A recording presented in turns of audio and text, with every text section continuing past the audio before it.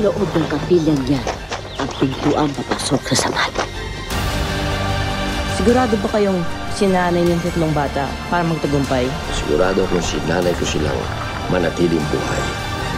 Kadena o kamatayan?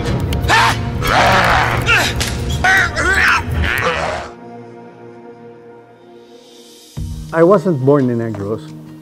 Uh, I was born in Manila, and I've been a Manila boy until high school. Pero my mother was a Luzuriaga, which is from Negros, Gidja, uh, in Ilog and in, and in Bacolod. And we used to come here every summer. If, if you see uh, my movie Sonata, that was like how I was growing up in, in among the tubu and in the farm. So I've, I've always had a, a thing for Negros. Uh, however, when we when I hit college, we moved to Negros permanently. Mayabang ako and snobbish, and I hated saying we're going to start studying in La Salle Bacolod instead of La Salle Manila. I, I was ashamed to have been brought to, to Negros. What I love about theater is you have this long period to put the action together. And so you're working on it, and as, it work, as you, work on it, you start adding little things and you start putting off, taking off little things. And when we're rehearsing, by the third week, they have the complete costume, complete props. So their costumes are, are not just hanging on them, it, they, they use it.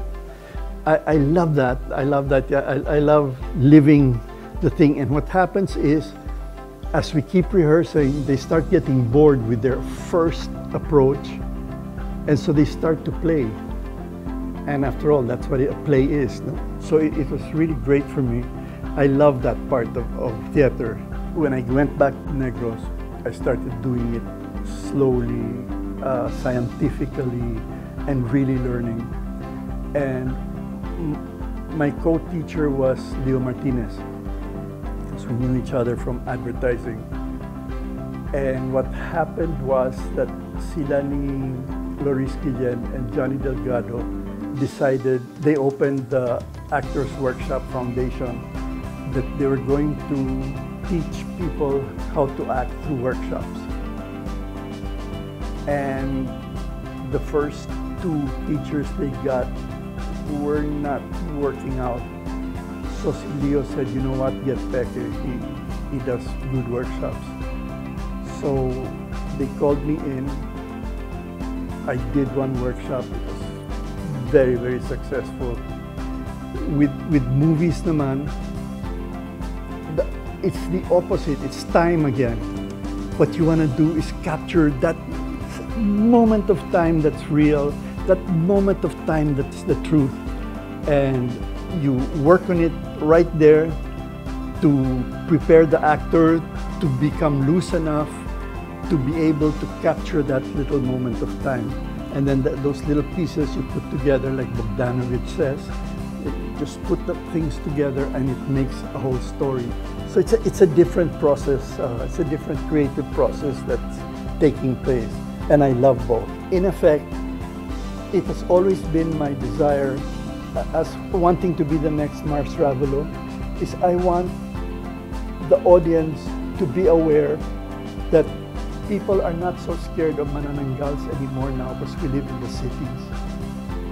And uh, I can imagine a Tianak being placed in a condominium, which would be wonderful. Uh, but I want, I, I want the Pinoys to understand the culture that they come from, the agricultural background that they came from. Why night is so scary because when you're alone in the middle of the fields where there is no electricity, the nighttime is palpable. It enters the window, you know, except when you're using a kinke, it's only this small. Um, people don't feel that anymore. Um, also the idea of magic. I want the magic uh, and, and, and the fantasy to be Pinoy, not to be a Walt Disney rip-off which is what happens with uh, Regal Films or with um, Star Cinema Films. When we did Magic Temple and Magic Kingdom, uh, we brought in a production designer from the States for Magic Kingdom. We said, we don't want any, any, any, any, any, any uh, sources coming from European or Walt Disney or anything. We have to create our own look, which has to be Pinoy.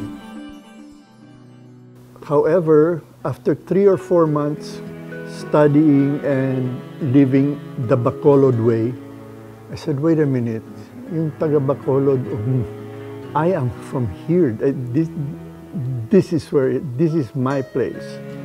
So I said, uh, I'll, I'll do whatever I want, but in the future, I'll end up in, in, in Bacolod. There was a time in the 70s and the 80s and early 90s that the actors here were better than the actors in Manila. I can say that with pride